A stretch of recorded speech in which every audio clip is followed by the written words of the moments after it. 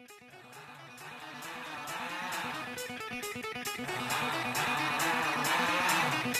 be right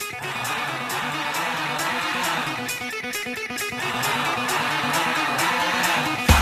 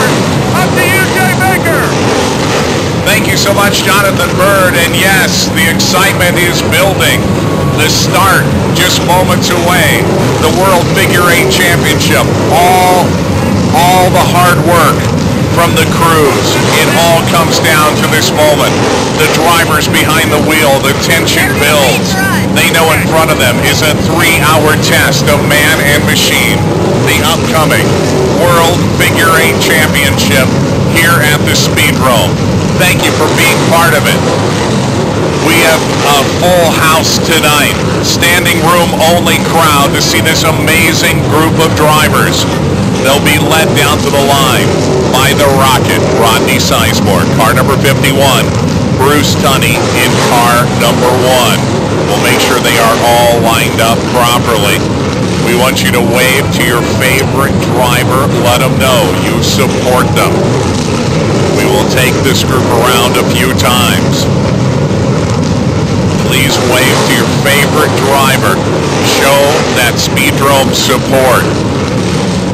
A lot of fan favorites out there tonight. We could tell during driver intros. Every one of these drivers would like to pick up a World Figure 8 Championship.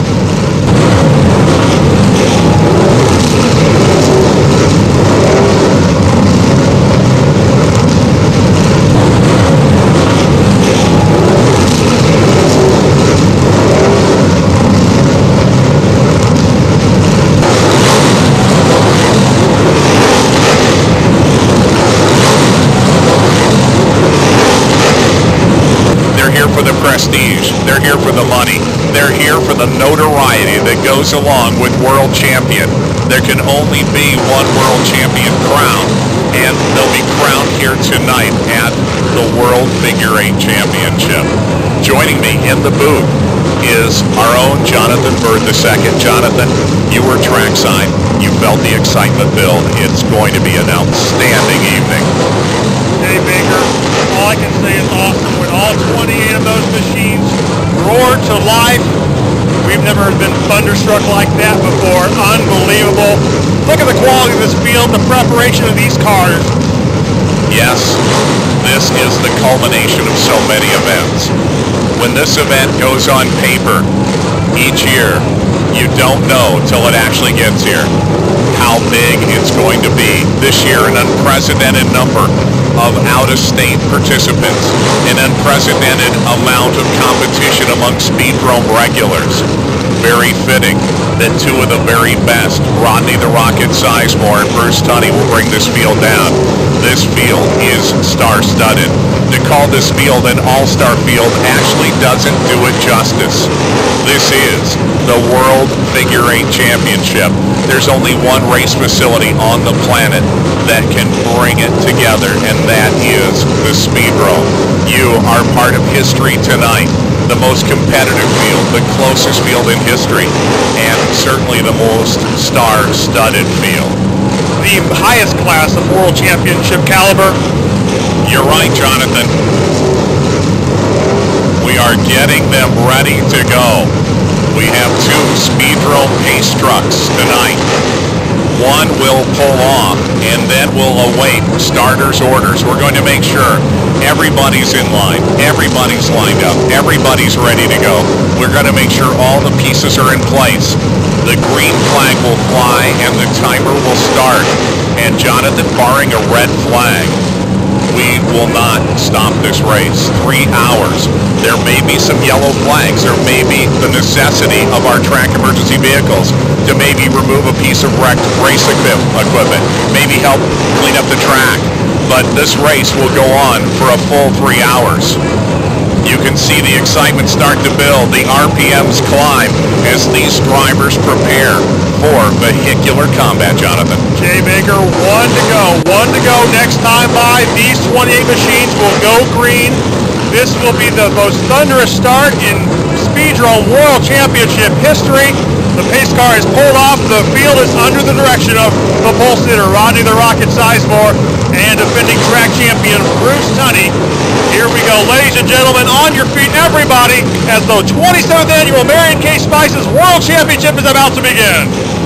The chills going up and down the backs. The drivers tighten the belts. They are ready. They're going to be looking for the green flag this time around. Rodney, the rocket Sizemore, brings them down, and the green flag flies at the Speedrome. Absolutely incredible start as this field of 28 gets away. And Jonathan, everybody is away okay. Nobody got into anybody at the start as Bruce Tunney takes the early lead. All cars through safe on the first lap. Bruce Tunney, your leader for lap number one of the World Championship of what could be 400 to 500. They'll have to go through the crossover. Uh, 800 to 1,000 times. Look out! Already! World champion! Curtis McMurtry gathered up in an accident. Already, Curtis McMurtry gathered up the reigning world figure eight champion. And that is Leonard Basham's equipment, number 9L. Leonard in an especially tough situation. Steve the Bull Durham and car number 88. These drivers will be able to leave the track and make repairs. But it was an unfortunate situation as one of our outer town drivers. I believe that is Gordon Brown. Gordon Brown just never got away from the start-finish line. No, he Uh, didn't. And uh, a very tough break for Gordon Brown. Didn't mean to cause that accident, but when you've got that stream of cars, somebody uh, looks one way, misjudges the next. I don't believe anybody got hurt in that. Some equipment did get bent. As you know, the rules do allow for the drivers to leave the track, make repairs with their crews, and then rejoin the race. Jonathan, the fireworks in the sky, the fireworks on the track. Already we have an incident involving Gordon Brown. Gordon Brown from Florida, a man who really knows his way around figure eight racing. And for whatever reason, it just seemed like the equipment let him down.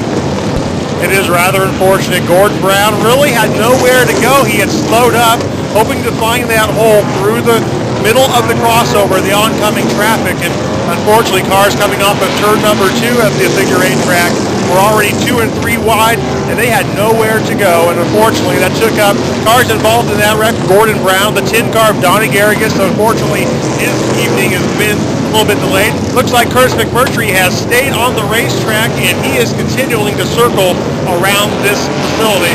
And really maybe no damage to that machine so the reigning world champion maybe gets through unscathed. Well, I'll tell you what, these cars are built extremely tough. They can take some damage. Uh, aerodynamics, obviously, a factor. These cars are built primarily for driver protection, but they're also built to be extremely sturdy race cars. So as you said, maybe the reigning world champion might have gotten away with it as he did make contact at the crossover. As we clearly saw, Leonard Basham appeared to have gotten the absolute worst end of that as we saw a split radiator and some body damage to car number 9L.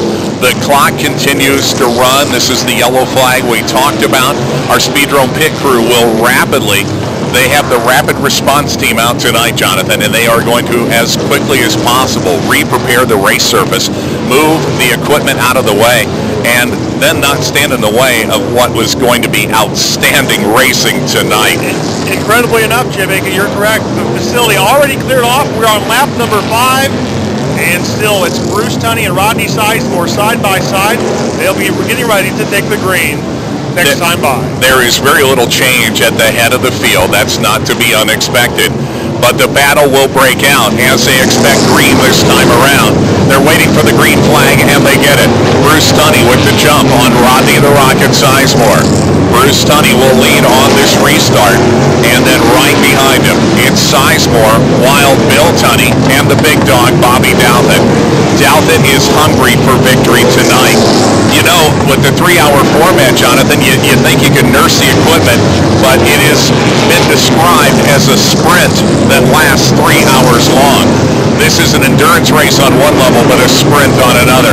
As Bruce Tunney leads this field, and Casey White, Casey White at the south end of the racetrack gets spun around, but is able to continue. Don't forget, Jay Baker, that because of the cars that were involved in the accident, we have added more cars to the field. The first alternate, Tony Anderson from Sportsdrome in the Jeffersonville area, he's on the racetrack now. He's only down a couple laps. He can be somebody who can make up a couple laps really easily, but this field has already have figure eight crossover traffic. Amazing already feeling feeling the traffic at the crossover.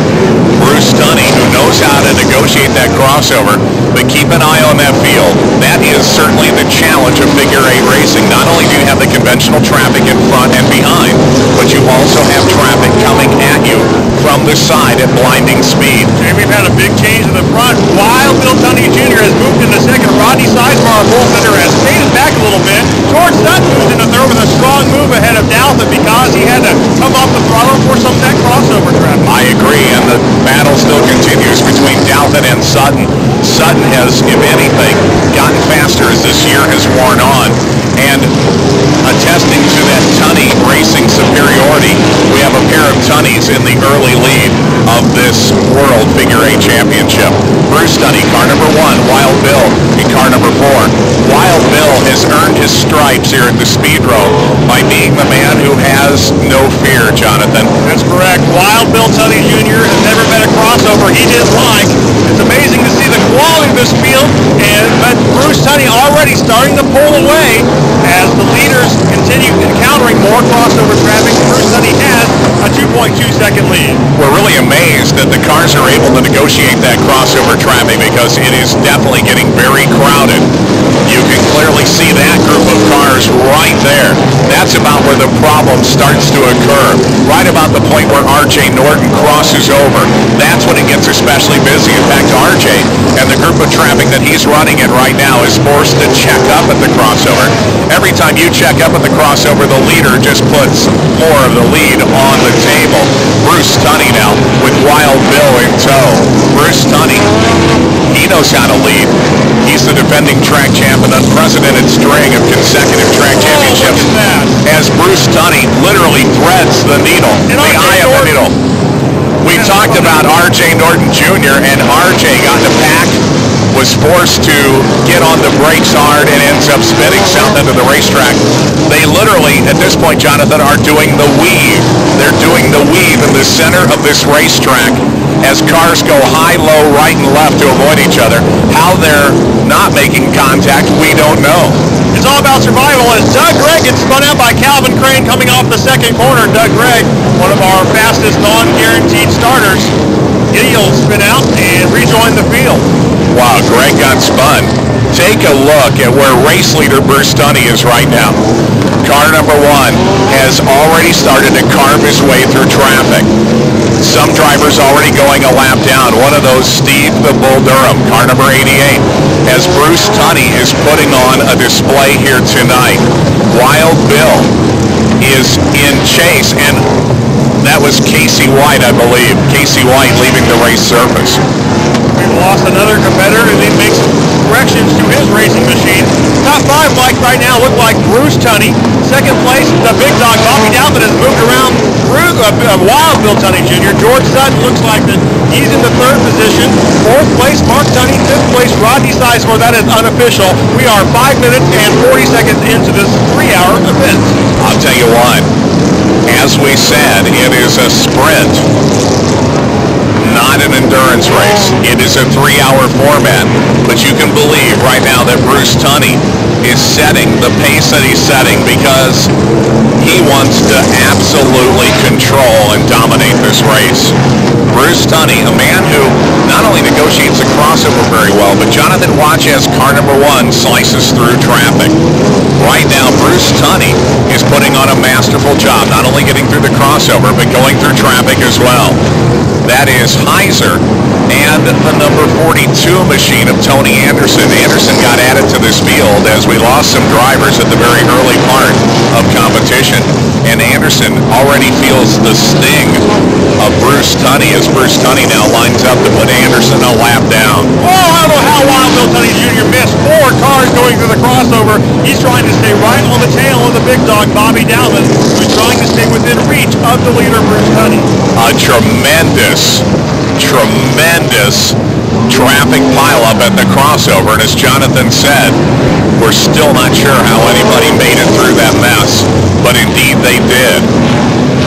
Right now it is a testament to level of these drivers that they're able to stay out of trouble the way they do. Bruce Tunney now, our race leader, is in amazing traffic. He just put Tony, just put Tony Anderson a lap down. But look as he knifes his way through traffic. In front of him now is Shackelford and even Curtis McMurtry, the reigning world champion. So McMurtry, who is doing his usual outstanding job, right now is under the threat of going a lap down to leader Bruce Tunney. It just shows you the pace that Tunney is setting. Already as well as R.J. Norton, who, who had a little bit of trouble in the first corner of the south end of the section of the track. He is also in danger of going a lap down. The incredible way the guys are moving through the crossover. I've not seen this much action so far early. We are 27 laps in in the first. We may have a pass for the lead, Jonathan. We may have a pass for the lead as Bobby Douthit caught Bruce Tunney. Bruce Tunney was behind some slower traffic, and Bobby Douthit swept into the lead. So the big dog now goes to the water bowl and says, let me eat. Bobby Douthit leads Bruce Tunney. And Wild Bill Tunney is there as well. Let me see. There we go. There's Wild Bill Tunney. Oh, off the gonna traffic. have- oh my goodness, Fred Wow. almost got taken out by Tony Anderson in the crossover. absolutely as close as you can get and still not get hit. Bobby Douthit with Bruce Tunney right on his tail. So Douthit chose that opportunity. Trapping obviously can be a factor, Jonathan, not only checking up at the crossover, but when you have the slow trapping in front of you, you can actually set what we call the pick. Right. As the slower car forces you to slow down, a lot of times your competitor can move right beyond you. Two hours and 51 minutes to go. This is the way the traffic will be the entire evening. Bobby Douthit, Bruce Tunney, Bill Tunney Jr., and all of the leaders will have to negotiate heavy traffic in front of them, behind them, and through the crossover all throughout this evening. Jonathan, absolutely amazing. Very, very busy at the crossover. Bobby Douthit, your new race leader. Though Bruce Tunney has not left Douthit's rear deck. So obviously Douthit has to be extremely careful, not only in crossover traffic, but with the slower traffic right in front of him. Bobby Douthit, your race leader. Bruce Tunney, the runner-up. And Douthit, Douthit gets hit on the side by Chris Green, able to continue. So Douthit, you can't take anything for granted as you start to cut through traffic. Douthit makes it through okay, but that could have been disaster for your race leader. And we've got more incredible crossover action, and the action for the lead is heating up even further. Now we have the top three cars running one, two, three, nose to tail, and it's going to be amazing to see as there's race car parts flying through the crossover. Definitely somebody lost part of their aerodynamic devices. As we have a driver checked up here at the crossover, this is rarely good because as you know, it is hard to judge a stationary object. Right. So this driver has stopped and wow! Dangerous, da- dangerous Danny Turner up. Oh man, how Danny Turner avoided contact, we don't know. That was Donnie Garrigus who was at an absolute standstill. Oh, Incredible. Greg Stute almost came into grief at the crossover, but Stute is through, and we don't know how. There have been so many near misses at the crossover, and our cars going left and right. How did Calvin Crane miss that? I don't know. Calvin Crane almost came to grief at the crossover. So Calvin Crane, our latest near miss individual. Still have Bobby the Big Dog Douthat leading this lap, this race. We are 12 minutes into the event. 37 laps have been completed. The top three goes to the Big Dog. Bobby Douthat, then Bruce Tunney is the number one. The number four, Wild Bill Tunney Jr. is in that third position. And unofficially, fourth place is the rookie, Mark Tunney, doing a good job keeping his nose clean and running a very good race so far as Heiser spins out turn number one. Heiser spun completely unassisted. Heiser, for whatever reason, got loose as he accelerated out of the crossover. And very disappointing for Jeff Heiser now, who's trying to rejoin without uh, getting in anyone's way. As Real, Real decides just to take an extra right-hand turn, and Sutton gets through the crossover as well. Unbelievable the amount of incredible action we've got here in this World Championship. I really feel this has got to be some of the most exciting action in the first 12 minutes of any World Figure 8 Championship. Marion Case Bison's 27th Annual World Championship will go down as one of the greatest ones in history. Well, Heiser and Garrigus both had checked up at the crossover. They're underway. Oh, Heiser, and Heiser, Heiser comes into contact with Mark Tunney. A very tough break for both drivers. Heiser immediately goes to the gate, and Mark Tunney continues. So I believe Mark Tunney thinks everything's okay with his car, and spun. Gets spun out, coming out of the second corner, he avoids the crossover traffic. I believe he was running as one of the highest out-of-towners in this race so far prior to that spin. Jeremy Miller gets the spin, and John Laval gets spun as well. So once again, our, one of our Florida competitors ends up getting spun. John Laval was one of our alternates as he exited the south end of the racetrack, spun. He's underway. We've had a change at the top as well. Bobby Douthat now is being chased by Wild Bill Tunney Jr. He passed his brother Bruce for second position as we were looking at John Laval. So yeah, lots of excitement, and if you take your eyes off the leaders for even a moment, that's what can happen is we have two Tunneys now battling it out for that runner-up position. Now side by side for the lead, Jay. Yep, there you go. Wild Bill Tunney was very dominant in his qualifying race. Now sees an opportunity, slow traffic, and he gets a jump and just leads this lap by about a half car length. So Wild Bill Tunney, he had an imperative. He wanted to lead this race, and Wild Bill does. He brings along Bruce Tunney and Bobby Douthat. So Douthat drops from first to third with that exchange as Bruce followed his brother Bill through the second corner, taking over the second position. Do you find And we got a big crash in turn number two. That is Buck and Laval, and Laval climbs Buck's car. So Buck and Laval come together, and Buck race car parked on top of his. Thankfully, the collision happened at a slow enough speed. And the caution comes out for this incident involving Laval and Eric Buck.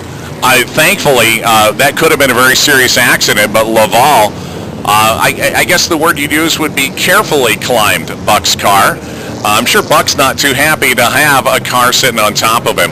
So Eric Buck, the famous double zero, finds, uh, actually I think John Laval passed his parallel parking test with that one. We are at the 145 mark, so almost 15 minutes have elapsed in time, and as you can clearly see, a huge level of excitement. Bruce Tunney is your current leader.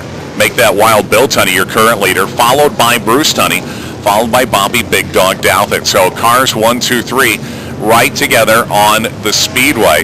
As we uh, looks like um, we're going to have to get some pretzel makers to somehow untangle that incident down at the south end of the racetrack, Jonathan. That's correct, and we are on pace to do almost over 550 laps. The pace those guys were setting through the first 15 minutes of racing as we completed 48 laps, completing now lap 49 here in the Marion K. Spices World Championship. Gives you fans a chance to stretch your legs, go to the concession stand, get yourself an ice cold Pepsi, then settle back in for more World Figure Eight Championship. We've had some alternates added to the field because of that. The 71 car of Steve Frost has been added to the field. Steve Frost in the field now. Jonathan, I'm sure this pace has got to surprise you. You've been here and been actively involved with the World Figure Eight Championship. I will admit to watching this race in the youthful heyday of Jay Baker, so I never had to work the race. I just got to sit in the stands and enjoy it. But my recollections of some of the previous World Championships were always that they were very tactical in nature. This one is much more like a 50-lap feature race. And with that type of pace becomes comes more type of opportunity to get in those types of accidents that we see John Laval and Eric Buck in and we've seen Curtis McMurtry involved in, we've seen Leonard Basham involved in. It's amazing to see these guys run this pace, but this is what they've been predicting all year long. This cut race has turned into a sprint race nonetheless. It has still got to be survival of the fittest, the strongest, and also the luckiest. Well, think about this Laval and Buck incident that we're untangling here on the track it's a kind of situation where we have avoided what could have been some very serious contact at the crossover. So you find it somewhat ironic that you have, in comparison, somewhat of a low-speed accident as a couple of guys exit a corner.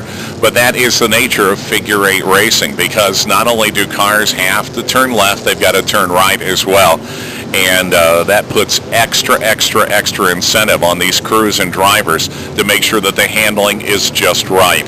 So we have a very precarious uh, unbuilding process going on here, and we will then remove the emergency equipment and let them race again.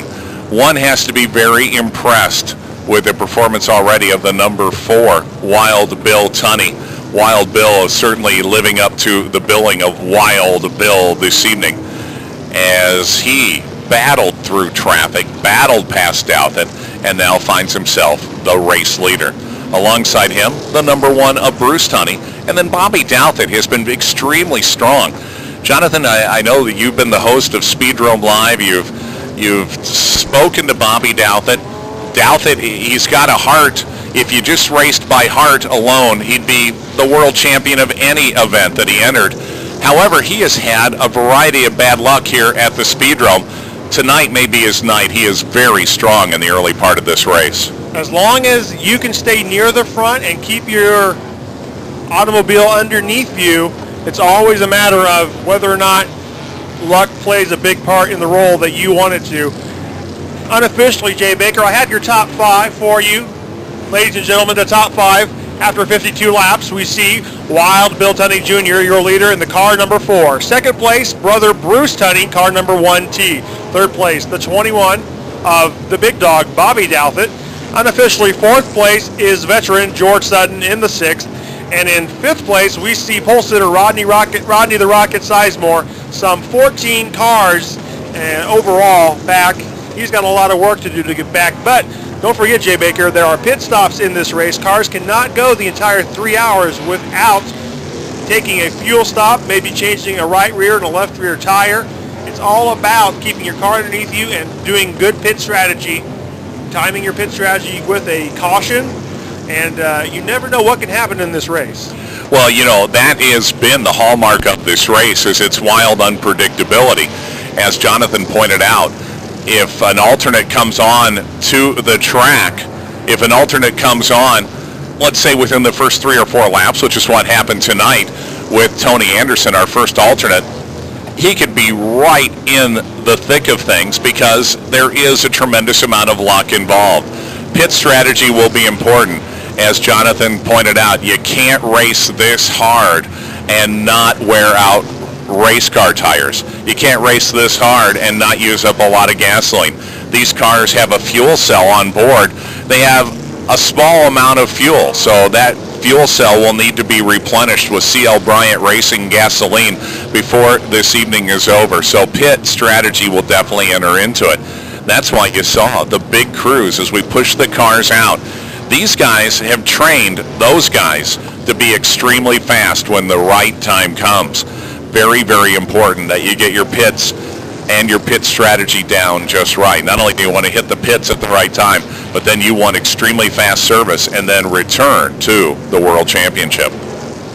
Well, here at the Blossom Chevrolet Speedrome, want to remind you, is a good chance to remind you fans, and we thank you so much for coming out, that Tuesday night, ESPN 950 will have Speedrome live at 6 p.m. live from the world's largest cafeteria, Jonathan Byrd's Cafeteria, I-65 at exit 99 in Greenwood.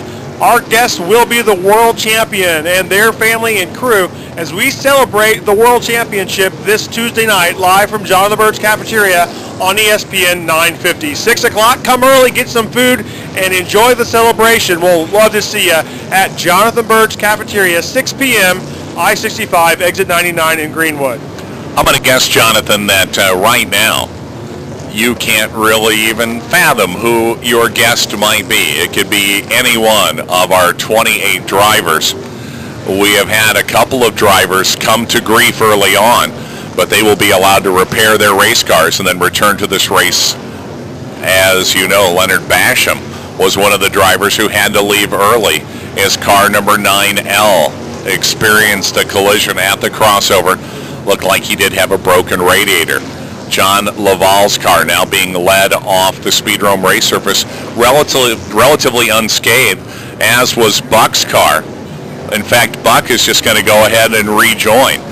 Those cars came together, frankly, for race car accidents. Those cars came together slowly enough that it does appear that both cars are relatively undamaged. One lap to go. The Speedrome pace truck will peel off and assume its position in the safety box. Be looking for the green flag this time around as the anticipation builds for the restart.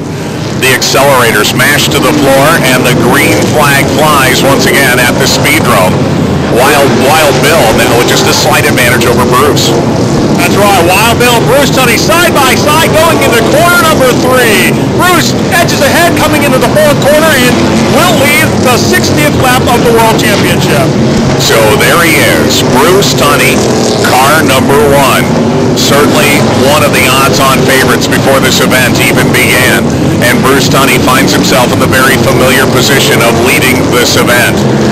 The cars are so strung out that traffic at the crossover is inevitable from the very start, Jonathan. So once again, there's no wait for traffic at the crossover.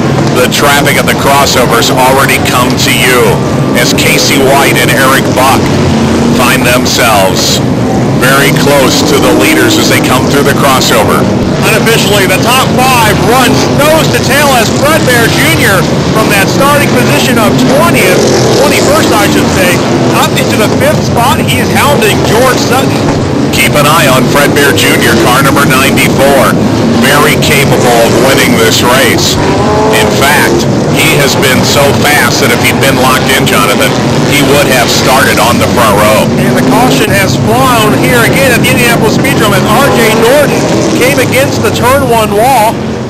So caution flying once again here at the Blossom Chevy Speedrome for the Marion Kay Spices World Championship. Tough break for R.J. Norton, a guy with a lot of experience, certainly one of the favorites here as well, has been very, very, very fast.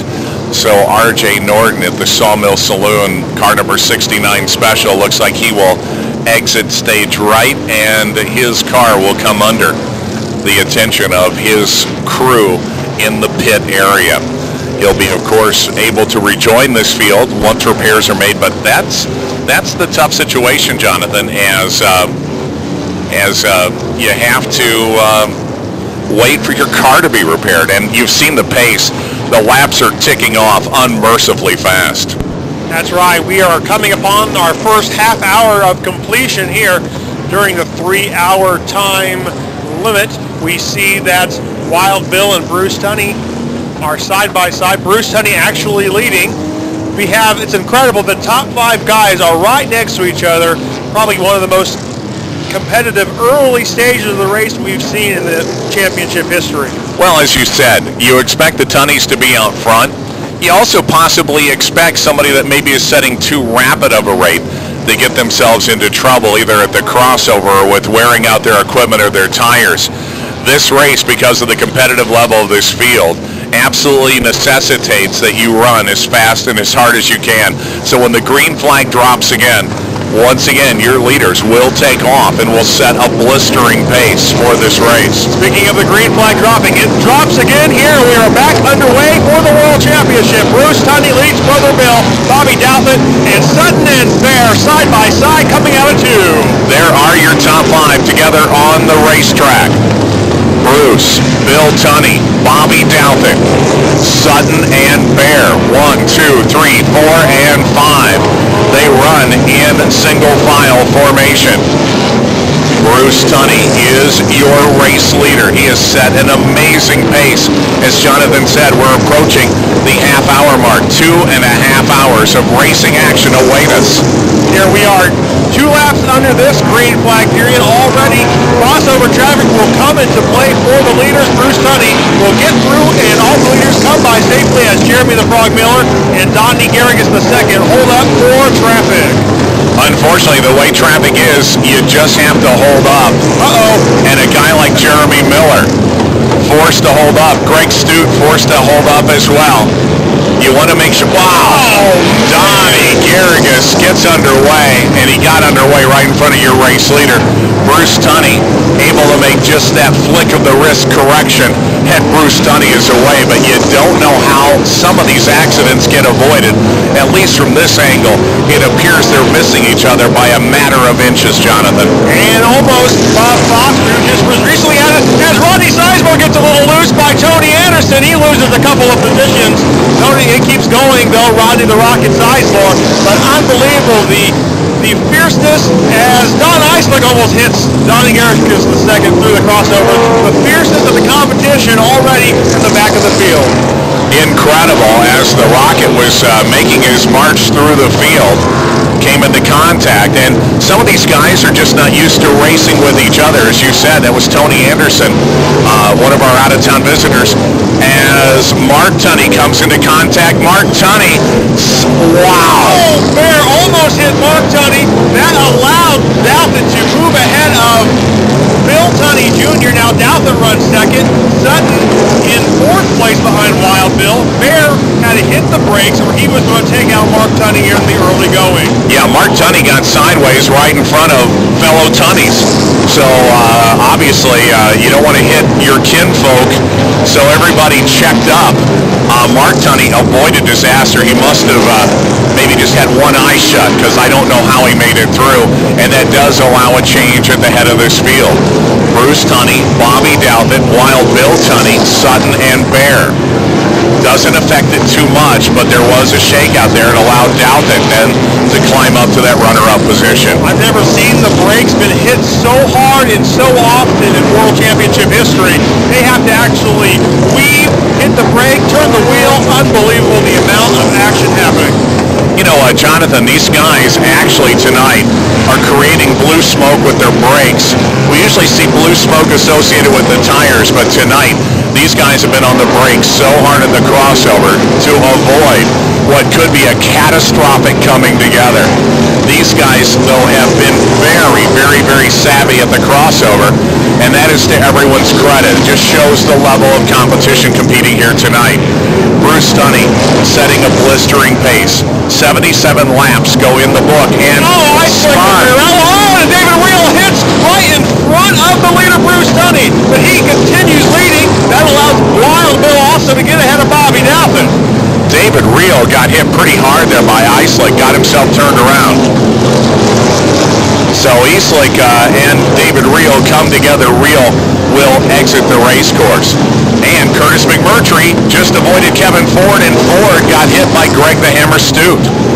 So Ford, minding his own business, got hit in the crossover, and that's another thing that can happen too. Once you think you're through, you might not be through all the way, as there is a part of your race car behind your head that you don't always take a look at. So here is Bruce Tunney and Wild Bill Tunney going at it side by side. They made Tony Anderson do a turn. He did not get through the crossover. He made a left-hand turn and it was thought better of it. Oh, and Bobby Douthat almost gets taken out by Calvin Crane. He'll lose the third spot and the fourth spot to George Sutton and Freddie Bear. Douthat forced to take evasive action he's going to lose some spots there. But, you know, better to take evasive action than to lose a race car. And wow, Sutton went all over the place to avoid contact at the crossover. And let Bear get around him, and Douthit gets back a fourth position. Sutton drops down to fifth. How about Bruce and Wild Bill Tunney? Here's a pair of Tunneys going at it side by side. They have had a long, storied racing career here at the Speedrome. Guarantee that they'll race each other very clean, but the competition between car number one and car number four, absolutely amazing. I wonder if there's some childhood memory those guys have where one guy didn't get what the other guy wanted that that's battling out now on the track itself because those guys have been going at it side by side but have been racing each other very cleanly. And this they have, okay? And Bruce Tunney leading brother Bill. The traffic in the crossover absolutely unparalleled in World Championship history as they put Curtis McMurtry, the current reigning world champion, won't be able to say that much longer, another lap down. As we continue to see so many of the great cars running here in the World Championship, we've had over 34 competitors so far this year race in the Marion Kay Spices World Championship. You know, a tough break for McMurtry. As you said, he is the reigning world champion and um, went into this race with high hopes. He's one of those guys that is able to race in a very crafty fashion and then take the lead as he did in the Jakes 150. Curtis McMurtry stalked those leaders and then took the lead at the right moment and pulled off a Jakes 150 win here at the Speedrome against some against some terrific competition. So that is a tough break for Curtis McMurtry, reigning world champion, who now is at least a lap down from your leaders. Plenty of action at the crossover as wow. We don't know how the 23 made it through. That is Danny Smith. I actually believe that is Larry Hahn, one of our uh, alternates. I believe that, yes, it is. It is Hahn that uh, had some problems at the crossover, but did avoid problems. So Larry Hahn in 23 avoided problems. Once again, just absolutely amazing traffic at the crossover. Don't take your eyes off your race leaders.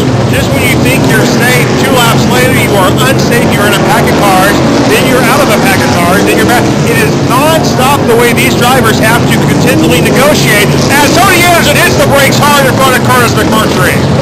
Wow, McMurtry having all kinds of bad luck here tonight in the wrong spot at the wrong time. More crossover traffic. We take a lead back to the leaders. It's Bruce Tunney still, Bill Tunney Jr. right on his tail on lap number 90. 35 minutes have been completed. Third place, the big dog, Bobby Douthit now about a whole straightaway behind the leaders.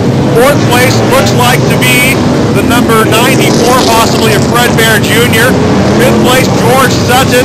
It's incredible how already we are probably down to just five to six cars on the lead lap after 91 laps of competition. Well, you are right as we come up on the 100 lap mark. We've been keeping an eye on Bruce Tunney and Wild Bill Tunney. They have been one and two for most of this event. As Wild Bill has a look at the inside there, tries to get around Bruce. So Bruce and Wild Bill still side by side.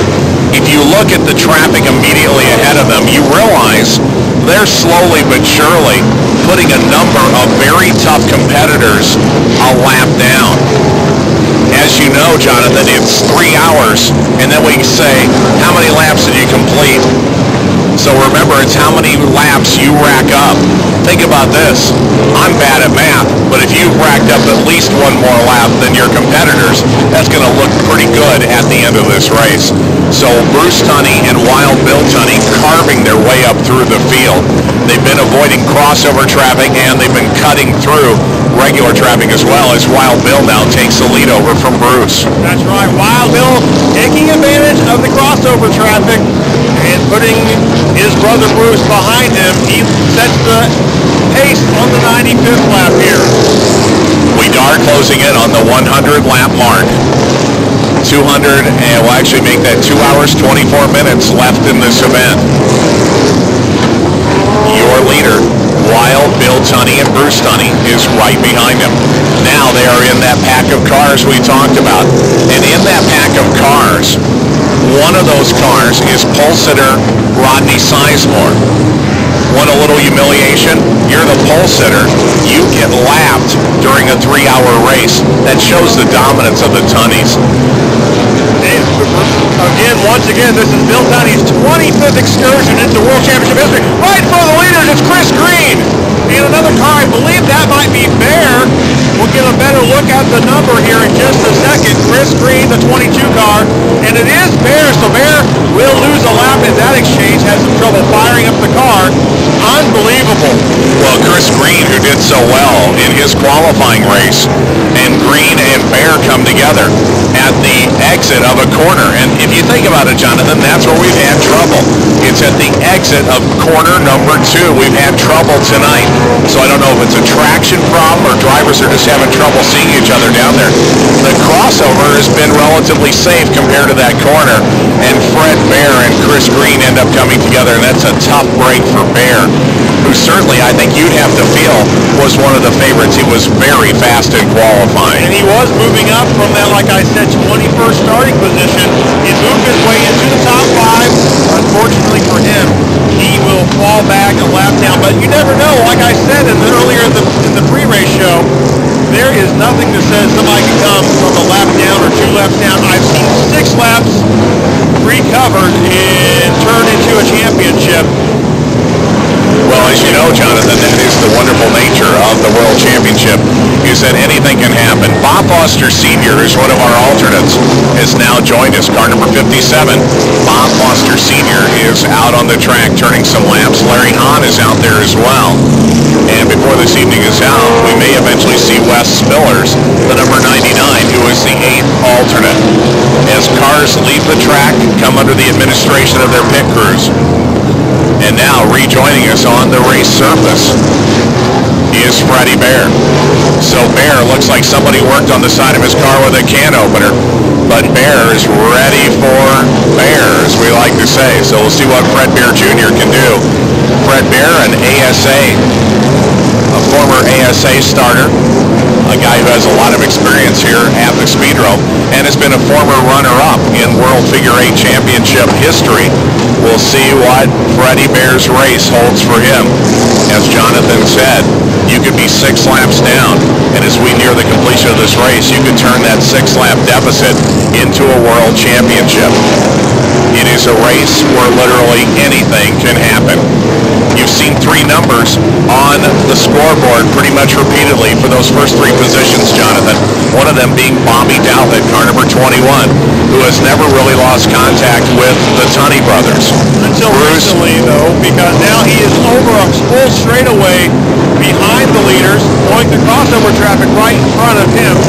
And Bobby Douthit, though, still running a good race. He just cannot catch up and meet that pace that the Tunney brothers have put on. Well, you have to wonder too if the Tunneys are not.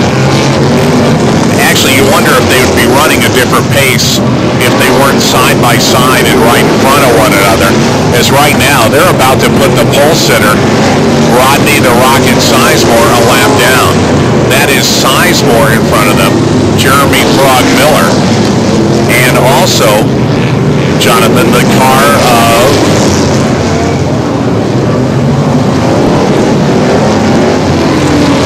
Don Eislich as they encounter all kinds of traffic. Your race leaders are being forced to carve through traffic. They are around Eislich. And you can see now that Rodney the Rocket Sizemore does not want to go a lap down. He knows that uh, there are some mathematical battles, and one of those is sheer number of laps that you put on the books. So the Rocket going to be a little resistant to going a lap down. So the Rocket does pick up the pace knowing that Wild Bill Tunney is right behind him. It is Wild Bill Tunney and Bruce Tunney, one and two and directly in front of them is the number 51 racing machine of the Rocket, Rodney Sizemore, your pole sitter. I believe Rodney probably wanted to see a caution so he can rejoin the tail of the field, not have the hot breath of wild Bill Tunney's number four machine on his neck the whole time as they complete lap after lap now on lap 111. 41 minutes into this event, they're running a torrid pace. We should see over 450 laps completed by the end of three hours for this Marion Kay Spices Championship. Well, as you said, the Tunneys are running together. In the runner-up spot is Bobby Douthit, car number 21. Douthit was keeping fairly close contact with the racing Tunneys now has dropped back a bit, but Douthit has run a very smart race, has been staying out of trouble. In fact, to Douthit's credit, he's taken some very wild, evasive maneuvers, and those have paid off. But in fact, his race car's been relatively undamaged. Fire on the racetrack. Kevin Ford's motor is on fire. He is pulled off. We're going to go under caution for sure to get that fire put out, but a fire in the Kevin Ford machine. Wow, Kevin Ford experiencing a full boat fire in car number 50 and Ford getting out in a hurry. Ford uh, definitely didn't need a written invitation to get out of that number 50 racing machine. So a full-blown engine fire as the hardest working short track crew in America goes to work on Kevin Ford's car. That uh, is the type of fire that uh, certainly burns everything under the hood. So that may be it for Kevin Ford. And I think we are talking about that caution that Rodney the Rocket Sizemore benefits from a caution. He will go to the tail of the field. A lot of these cars bunched up as the pace truck was trying to pick up the leader. A lot of the cars that were ahead of the leader now get to go and rejoin the rear of the field. Yeah, a little bit of confusion up here at the north end of the racetrack, Jonathan, as everybody uh, came to a pretty rapid halt. Everybody had to get on the binders pretty hard. That's Larry Hahn that experienced some troubles troubles there in car number 23. And Larry Hahn will uh, actually exit the racetrack. I think we have a problem with the 4C machine of Calvin Crane. Crane uh, through lap 100 was running in the sixth position, so he'll see if he can get that car refired without losing another lap. He'll get some assistance from the Speedrome push truck vehicle. As you said, uh, we were looking for a caution to help Rodney the Rocket Sizemore. So Sizemore will benefit from this caution by not going a lap down. And just like in uh, NASCAR racing circles, uh, you get to uh, go to the back of the field. Not always easy to carve your way up through traffic, but it beats going a lap down. So Rodney Sizemore obviously uh, very pleased with the yellow. Not so pleased will be Kevin Ford. Calvin Crane in 4C trying to get through the crossover there, and he gets through. And uh, Calvin will rejoin at the back of the field. But Calvin Crane having uh, a hard time getting his car restarted as everybody jumbled up trying to get behind the pace truck. Getting behind the pace truck is not the usual protocol for all of our speedrome drivers, so it's been difficult for them to sometimes instinctively get behind the truck, but everybody did indeed line up accordingly. As Jonathan said, an absolutely amazing pace has been set. 116 laps are in the book. The timer is still ticking away. We uh, are at the 215 mark in this event. We will show both the Tunney brothers, Bruce Tunney and Wild Bill Tunney, one and two. They are together on the racetrack. And then Bobby Douthit gets an opportunity to draw closer still. So that big interval between Bobby Douthit and the rest of the field now uh, gets erased, Jonathan. The field being shown the one lap signal. We have the four car of Wild Bill, Bruce Tunney in second. Third is George is uh, Bobby the Big Dog Douthit. Fast and Furious George Sutton. Those are the only four cars on the lead lap unofficially Speedrome scoring. It's great to see Fred Bear Jr. out there too, even though he's some laps down. Freddie Bear is out there, and now the green flag flies once again at the Speedrome. The two Tunney brothers, they've been going at it side by side for most of this race. They're going at it side by side at the restart too, Jonathan. Bruce got a better jump off of the second corner, and now a big problem with Danny Smith. Danny Smith is spun. Danny Smith gets spun by the field, and Danny Smith will be able to continue. He actually makes sure he gets around the marker tire so he gets scored properly. Not going to be a very happy day for Danny Smith, but the important thing is he's able to continue as Smith runs into traffic at the crossover. Now your leaders have to make it through the crossover, and they do. Freddie Bear wanted to get, wanted to get one of those laps back down behind the leader, Bruce Tunney. Yeah. Bruce as Bruce checks up for crossover traffic. Yeah, Bruce uh, checked up and uh, Freddie said, "Hey, look, uh, we got a race to run here. Let's uh, let's get going." So Freddie Bear giving the old, uh, "Hey, how are you?" smack to Bruce Tunney. But Fred Bear, as you said, would like to get this lap back. Freddie now trying to get as many laps as he can on the book. Had an unfortunate coming together with Chris Green, but his car does appear to be up to speed. The good thing is, hopefully they put a new set of tires some fuel in Fred Bear Jr.'s gas tank. So maybe number 94 is good to go for a few more laps. We've had another alternate added onto the field as the 59 car of Steve Prine. Our ninth alternate is entered into the race. Now we have 37 drivers that have made their way onto the racing surface for the 27th World Championship. Well, and what a world championship it has been, Jonathan. Bruce Tunney was everyone's odds-on favorite to win this world championship. But as you said, it takes And it's determination. a fire. Bob Foster Sr.'s car on fire again. We go caution really quickly. Bob Foster on fire. Yes, there is a fire underneath the number 57 machine. I don't think he knows there was a big flash out of the engine compartment. Maybe it's extinguished now. He'll go to the pits, but unbelievable. You see another car with the another car with some flames coming out under the hood. Well, I'll tell you what, we knew we'd have a hot night of racing, maybe just not that hot. Whatever that uh, was, it looks like it extinguished itself, and Bob Foster Sr. goes on. But uh, good eyes, Jonathan. I guess uh, going back to saying this during the caution period, once again, the talk was a month out. Bruce Tunney, undoubtedly the man to beat for this World Championship. You and I both know how much luck goes into racing. How many times have you been to a major motor car race, the leader out in front, lap after lap after lap, engine breaks six laps from the end? We know that luck is certainly a big factor in motorsports. And the flagman giving the field one lap to go. One lap will go green next time by. Leader Bruce Tunney and Wild Bill. George Sutton now moves into the third spot as we prepare for lap 126. Well, they say luck is where preparedness meets opportunity and the opportunity for the restart as the Tunney brothers are side by side and the green flag flies here at the Speedrome. You've got three Tunneys together on the racetrack. That is Ben Tunney in car number 14. Tunney down at least a lap or so as Bruce and Wild Bill Tunney battle it out. They'll have traffic at the crossover almost immediately, Jonathan, as they get around Larry Hahn. So that is the Curtis, excuse me, Curtis Unruh's car. There is your race leader, Bruce Tunney, Wild Bill Tunney. And George Sutton is coming with this group as well. George Sutton, somewhat of a sleeper this year. He kept getting faster and faster as the season wore on. And Sutton, Sutton gets bumped by behind. Sutton gets bumped and gets shoved out of the way. That allows Douthit to get around Sutton. So Sutton was making some progress, Jonathan. Got the old bump here at the north end of the racetrack and got bumped out of the way. Well, that's racing, as they say. Rubbing is racing, and really that's what those rails seem sometimes are for.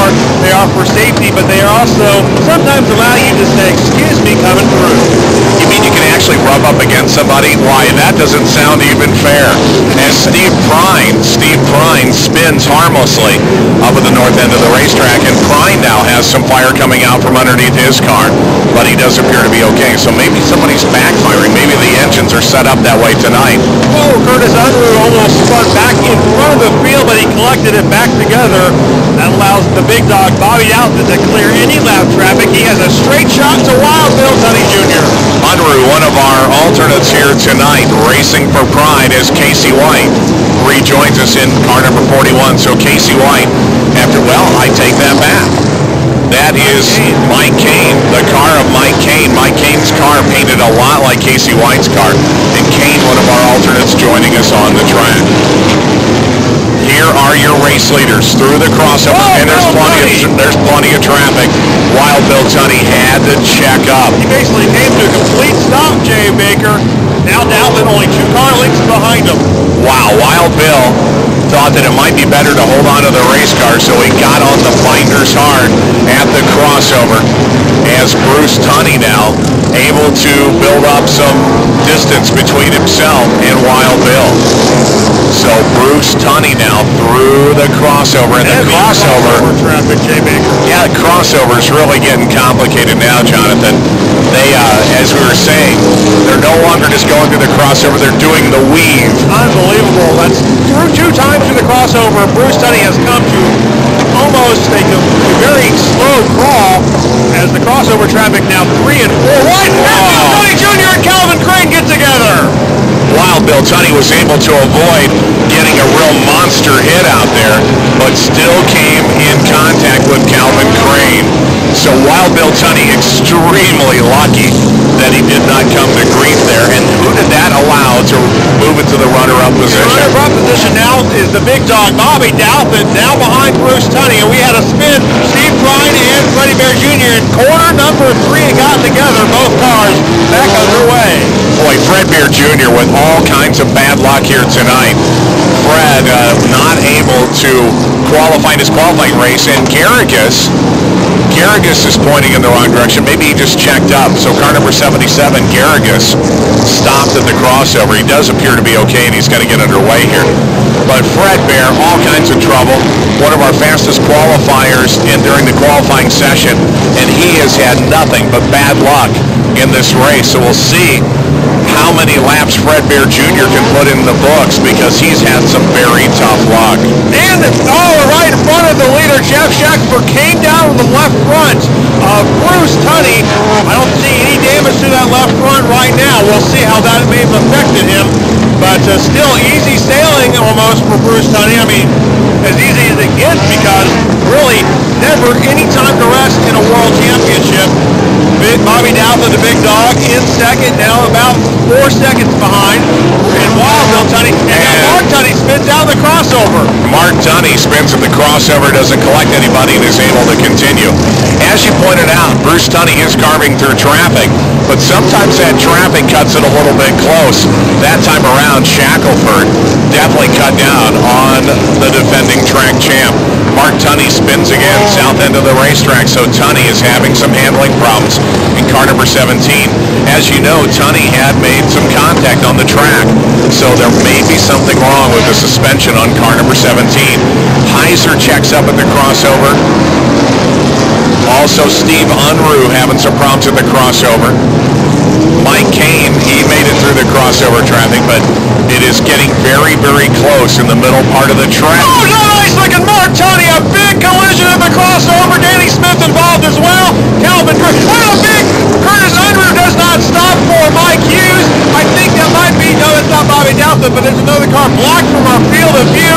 That's Wes Spillers. He's got damage. Six cars involved in a chain reaction collision in the crossover on lap 144. Wow, absolutely amazing, Jonathan. As you said, uh, we might need put you on oxygen following that incident because you're right. Cars went flying everywhere. Most notably, the car of Eastlick here, who ends up motionless uh, on the front stretch of this racetrack. Eastlick took a wild lick from Mark Tunney. Those drivers came together. Tunney now will go back to the pits. Tunney had some kind of a handling problem and uncharacteristically was having some problems out there. And I believe literally the very definition of a chain reaction accident as we await uh, an update here on uh, Don Eastlick. It looks like Eastlick has taken the steering wheel off, the, so that's always a very positive sign.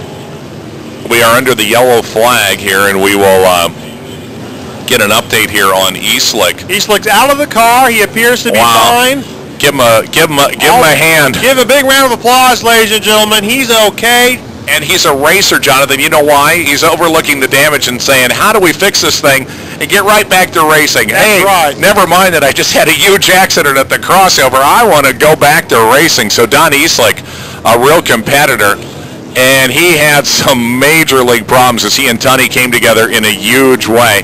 The great news is not only is he okay, he's already looking it over saying, you know, if we just bend the sheet metal just this way, why, I can hop back in it and give her a ride. I think that they, Don might try to drive this car off. He was looking over everything, maybe the rear end not being Looks like Don holding his right leg a little bit because that was quite a lick. Yeah, you got to wonder sometimes these guys, despite all the safety gear, that is, uh, there's always little parts of that race car kind of waiting to bite you a little bit. So you wonder if maybe uh, he didn't get hit in the leg with uh, something that was protruding inside the race car. Definitely, he's going to wake up with a bit of a headache tomorrow. Uh, Eastlick joins us, uh, one of our out-of-town competitors, and a pretty wadded up race car. The good news is he does appear to be unhurt. We will get that car off the race surface. That still leaves your leader, Bruce Tunney. He's following our Speedrome pace truck. Bobby Douthit is in the runner-up position. And then score Wild Bill Tunney in third. At least that is the official designation on the board right now. We are three minutes away from completing our first hour in the 27th annual Marion Kay Spices World Figure Eight Championship. We'll bring the flatbed truck out to tow Don Eastlick's car as the regular tow truck would not do the trick. Obviously something wrong with the rear end of the Eastlick machine. Get a good chance to go down to the concession stands, ladies and gentlemen. Get yourself an ice cold Pepsi, the official soft drink of the Blossom Chevrolet Speedrome. Blossom Chevrolet, a proud supporter of the Indianapolis Speedrome, coming aboard as track naming rights sponsor for the next three years. Kind of surprising the problems that Mark Tunney was having, and uh, certainly they were handling related undoubtedly as he uh, had an incident earlier in the evening. And uh, kind of a surprise too with Fred Bear Jr., a guy with tons of experience, great equipment, and uh, Fred Bear Jr. and car number 94, he's had all kinds of problems.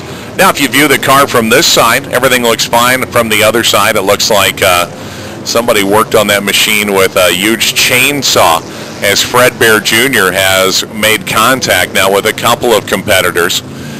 As you said, it really is an a situation involved with just getting those laps on the board. And even if you happen to go down a few laps early, Jonathan, it's not necessarily the end of the world. However, we knew that in this World Championship, this 27th annual World Figure Eight Championship, we already knew that the pace was going to be absolutely unbelievable. As you said, Jonathan, you can't believe the pace. These guys are literally running as fast as they would if this were a 50-lap feature race. As you know, we put 148 laps on the book. We've got an hour's worth of racing that we've taken care of. So once again, I'm really bad at math, but we could do 450 laps easy here tonight. In fact, I, I, I fully expect that we will. 450 laps means 900 times through the perilous crossover for tonight's world champion. As we are only two hours away from the checkered flag, this race is still in doubt. I really don't know who could win. You never know what will happen through the crossover and through any type of mechanical problems that ha- that will happen. We remember earlier this season when Bruce Tunney seemed to have the Jakes 150 well in hand and a $5 part broke down on his alternator, killing all power to the machine. That could happen here. That's what it's all about. Meticulous race car preparation is the name of the game for anyone who wants to compete in the World Championship and compete at the highest level. Well, you've already heard the stories that Bruce Tunney works on the car six days a week. One time when Bruce Tunney had a rare engine failure, the story we heard was, well, this week he had to work on the car seven days a week. So Bruce Tunney, never, never a week goes by without him working on that race car. And as Jonathan said, it is meticulous race car attention. Yeah. Well, actually, whatever you said. Eight days a week actually is. What, did he? Did yeah. he? Went, he went to work on it eight days that eight week. Day, yes. he listened to the Beatles a lot too. Only Bruce Tunney could get eight days out of a week. We've completed the first hour. We're getting ready to go green. 150 laps down for the leader, Bruce Tunney. Here we go. The green flag flies once again. This field all going for the World Figure Eight Championship. The field lines up behind leader Bruce Tunney. Bobby Douthit is right there as well. This restart gives Douthit an opportunity to get up right behind car number one. Douthit, an earlier leader in this race, would like to resume the point again. Yes, and here we have the usual cast of characters. Bruce Tunney, Bobby Douthit, then we have Wild Bill Tunney, and uh, Jonathan, you're so much better at scoring than I. I do believe Sutton is running in position right behind Wild Bill Tunney. George Sutton doing what he said he was going to do, run his race as well as he could, and almost Jeff Shackelford in front of the leaders. Shackelford's had some troubles today at the crossover. Shackelford's a very good racer, but man, he has had some trouble as Stute weaves through the crossover, and I don't know how he made it. Look at the traffic in the center of this racetrack. Bruce Tunney, your race leader. Bobby Douthit, Wild Bill Tunney, one, two, and three. They run together on the racetrack. They are through the crossover. The crossover allowing the leaders to go on by. And I see a lot more courtesy in the rear of the field as we have a big what is going on? I was just pointing out to you that Jesse James has joined us tonight. Unbelievable. Jesse James has made his first appearance into the World Championship. Jesse James from Monster Garage now in the World Championship on the 155th lap. There he is in the big old 666 machine.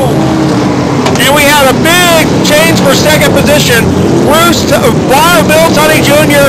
taking advantage of a checking up Bobby Douthit. He regains the runner-up spot. Well, I'll tell you what, Douthit, one thing he has done tonight, Jonathan, is he's erred on the side of caution, and that may actually play into the big dog's hands. Oh! R.J. Norton got spun, I believe. He made contact with Calvin Crane. R.J. Norton, the points leader of the Blossom Chevrolet Speed Speedrome, and a big crash. That's Douthit. Douthit has spun out in corner number one. Douthit has come together with Jesse James. Ironically, it was Douthit's crew that helped Jesse James put that car together in the first place. So ironies of ironies as the big dog gets spun by Jesse James. Fortunately, Douthit does not lose the lap. He seems to be more determined than ever getting through this field. That gives the third position to George Sutton. A lot of cars, and now Tony Anderson of a big smoke screen as he spins out in the crossover. Unbelievable. Dangerous Danny Turner, he spun, and then uh, Tony Anderson spun. It was going around. It was catching.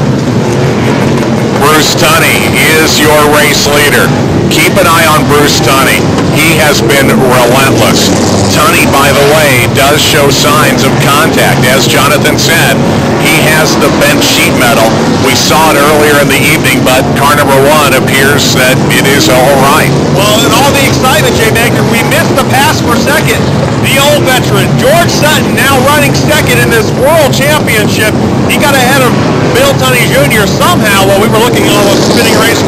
Well, as you said, George Sutton, who's put in a lot of miles here at the Speedrome, been around the block a few times. He said, I'm still a little young for that rocking chair. He is out in car number six and is giving it the ride of its life. So George Sutton and Sutton and Green come into contact. Christopher Green, one of our alternates here tonight. Christopher Green in car number 52G. And Douthit has spun out in corner number one, and he loses the lap to the leader, Bruce Tunney. Now Douthit drops the lap. There are only three cars remaining on the lead lap. Wow, Douthit has got to be well, I don't think you'd want to hear the language that he's muttering to himself as he's had all kinds of problems very early on in the race. He was right there, very dominant. And now Bruce Tunney had a checkup. That allowed Wild Bill Tunney Jr. to get ahead of George Sutton on lap 166. Lots of action as the crossover now a very busy place to be. Wild Bill Tunney, who had been in contact with his brother all night long now, those guys are almost on a completely divergent path. And in fact, Bruce Tunney has a pretty amazing lead over his brother, Wild Bill. So Wild Bill now needs to start uh, really working to regain that lost ground to brother Bruce. Once again, Bruce Tunney has been absolutely unstoppable tonight. There is some body damage to the right side of car number one. I was just going to say that. These cars will not be go unscathed. No matter who you are, if you're the last car or the first, you will get some body damage. It's just a matter of how much you get and how much you can keep the car underneath definitely going to look like it raced at Darlington or Bristol when this evening is over as Bruce Tunney still is your race leader. Wild Bill being shown in second, but quite a bit of distance between first and second in this race. And as Jonathan was pointing out, such a pace being set by the Tunney brothers. Most of the field has gone a lap down to the Tunneys.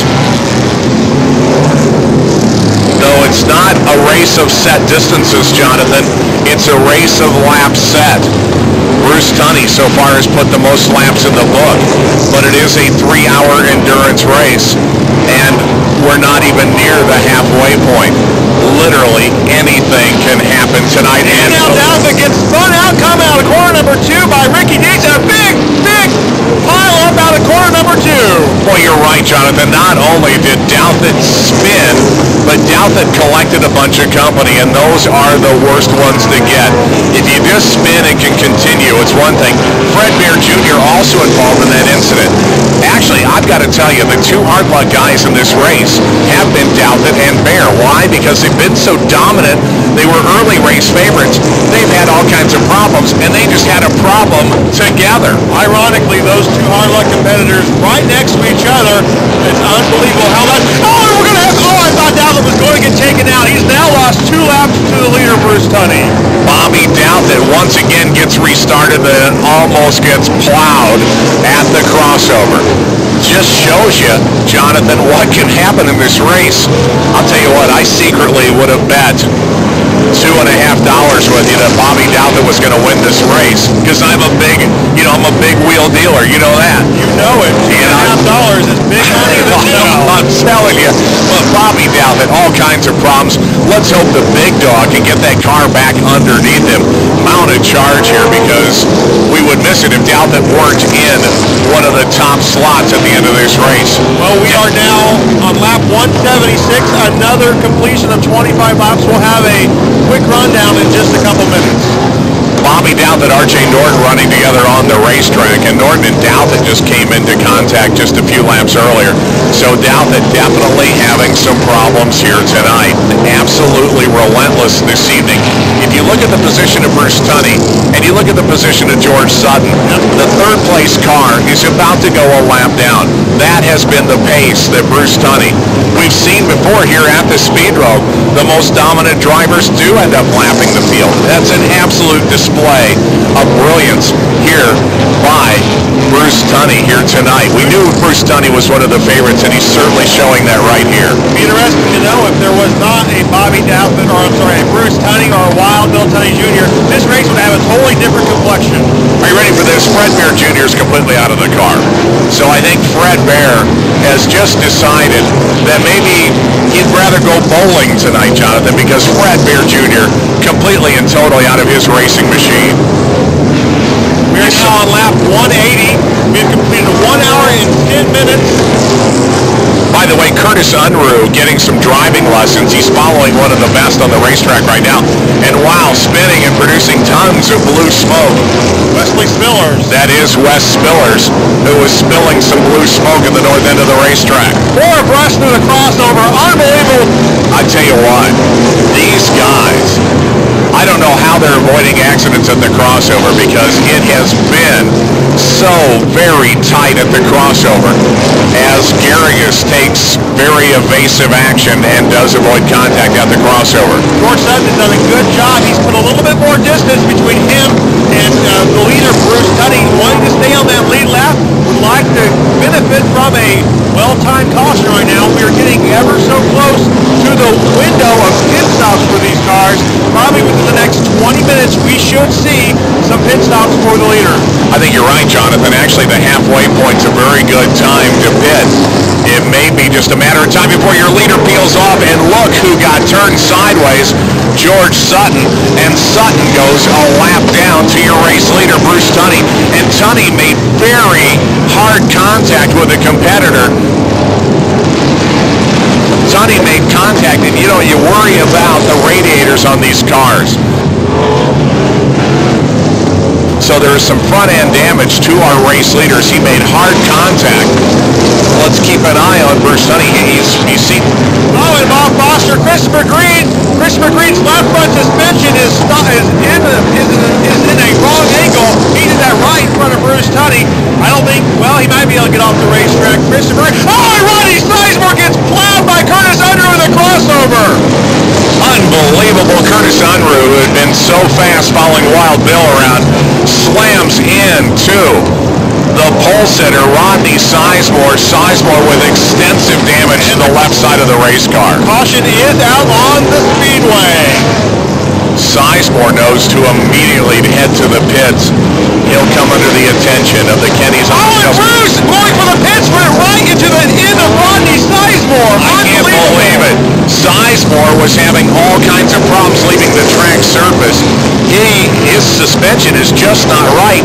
Bruce Tunney said, hey, uh, this is a great time for me to pop into the pits. And these two guys, who frankly are great friends, very close competitors, arguably the two fastest guys at this racetrack come into contact with each other. Sutton's going to leave the racetrack. He's going to be able to come to the attention of his pit crew. Sizemore's off. And look who was stopped on the track. Bruce Tunney. Bruce Tunney now race down to the, lead, the leader of the race, who is going to be Wild Bill Tunney Jr. So in Bruce's haste to leave the racetrack, did not see the car of Rodney Sizemore in front of him. Unbelievable action. That's the things we were talking about, Jay Baker. The things that you have to take care of. And, you know, when the caution comes out, you have to, after running so many laps under green, I know it's got to be a hard thing to slow down, but, you know, you raise a good point. to think about. Remember, we had an incident here not too long ago with another Tunney, Mark Tunney, who was absolutely running away with a race made contact with a stopped car at the crossover, and we conjectured later that as all that rapid motion occurs around you, sometimes seeing a stationary object is nearly impossible. I think that's what happened in this particular case. Is here's Bruce Tunney. The world is rushing by at 80 miles per hour, and it's hard to judge a stopped car. One of the things I'm concerned about on this is not just the fact that he's stalled and he's losing laps. That's tough what I'm concerned about is there may be major suspension damage to this car. We already saw the fact that he, there was some body damage. We also saw the fact that he came into contact. I was concerned about the front end. Then he makes further contact with the stationary Sizemore. And that contact was the hardest contact we've seen from Bruce Tunney. Bruce now getting out of the machine. Obviously a problem with the steering or the movement of the front end. The wrecker and America's best short track crew getting ready to take the number one machine off the racetrack. Bruce Tunney got to be heartbroken because he had this race under control. It looks like also, I hate to speculate, that Bruce is uh, either not feeling well physically or just his mental capacity at the moment. He's got to be devastated. Well, you, you couldn't ask, uh, you, you couldn't serve up any greater disappointment. You talk about a driver who is absolutely dominant. And as you said, he does appear to be uh, a little groggy right now, and that might have been possibly from the contact with Rodney Sizemore. So, so Bruce uh, definitely made very hard contact.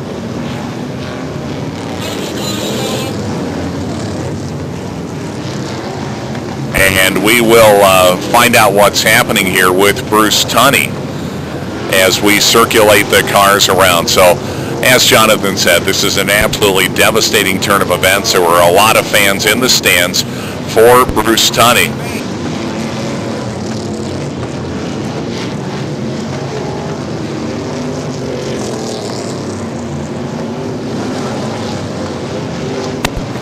We said early on that George Sutton was certainly one of the favorites. And Sutton, now we have heard reports, Jonathan, that Sutton has a full tank. We have called an ambulance as Bruce Tunney, uh, under some distress, up at the north end of the racetrack. From And- our vantage point, Jay, I think he's just sitting on the ground next to his race car, and we don't know what. We don't want to speculate as to what might be the problem with Bruce Tunney, but we'll let uh, some of the great paramedic crews always safety first here at the Blossom Chevy Speedrome. We'll get him checked out for some precautionary matters. Yeah, Bruce Tunney, who uh, just um, what a turn of events, absolutely unbelievable. One guy who put himself in a, in a great situation was George Sutton, who was able to dive into the pits. We are uh, understood that uh, Sutton has uh, refueled that car, possibly changed some tires.